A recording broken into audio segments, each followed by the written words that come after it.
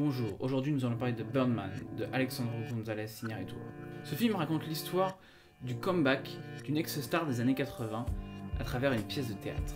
Ce film est déroutant car ses choix artistiques sont audacieux. La première des idées, et la principale, étant de faire de ce film un plan séquence de deux heures, ce qui met le spectateur dans une zone d'inconfort, qui est sublimé par un travail de l'image de toute beauté.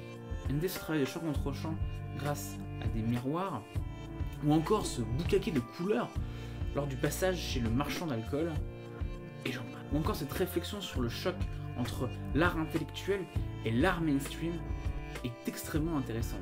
Les acteurs ici livrent tous des performances tout à fait remarquables. Michael Keaton est très très en forme. Edward Norton est étonnamment criant de réalisme. Emma Stone est toujours aussi doué. Zach Galifianakis est méconnaissable. Mention spéciale à, à Naomi Watts et Andrea Riseborough qui livrent des prestations extrêmement puissantes, mais qui pour le plaisir des yeux se trimballent pendant tout le film en nuisette.